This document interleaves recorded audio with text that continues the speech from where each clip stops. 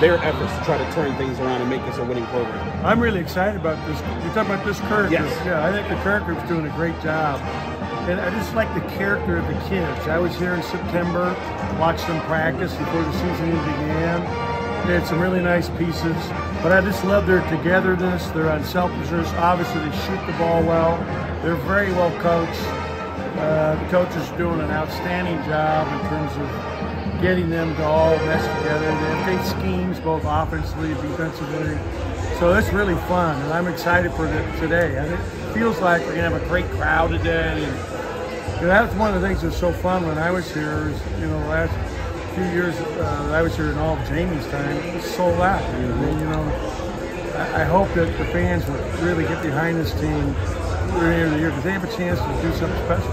And Pitt wasn't much before you got here. Uh, why, why did you decide to come to Pitt uh, back in the day? You know, uh, Pitt had had a lot of good eras of basketball prior to I, uh, my arrival. I mean, you go back to Paul Evans, he wasn't that far behind me, or Roy Chipman. They both, you know, had very, and then obviously go back to Buzz and, and what they did. So, uh, for me, it was a great opportunity. I was coming from a, you know, low major. Uh, we had a lot of success at Northern Arizona. To be in the Big East, to be in the best basketball league in the country, which at that time, no doubt, was the Big East, was really, really exciting.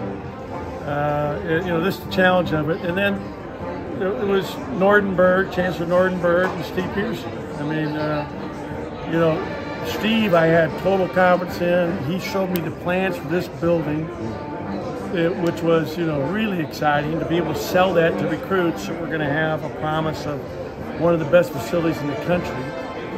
And, uh, you know, they, they uh, were the architects behind this whole situation. You missed the like the intensity of the old school Big East tournament. That used to be one of the best things I thought was on television. It was great for the fans. I mean, the Big East tournament, you know, for our, the fans in the Big East, the Big East tournament was the biggest thing in basketball every year. Everybody loved going to New York. Everybody loved being involved in that thing. Uh, and then you know, we went to three straight finals. Uh, and then they went again the following year. Jamie's first year as the head coach. So we really got on a roll there in New York, which was great for our program and fans. When you think of that team 20 years ago, what's the first thing that comes to your mind? Toughness, physical, blue collar, work ethic, you know, uh, togetherness, unselfishness, uh, physicality, great kids, great players, heart, you know, just, you know, Brandin was the heart and soul, and mean, incredible leader.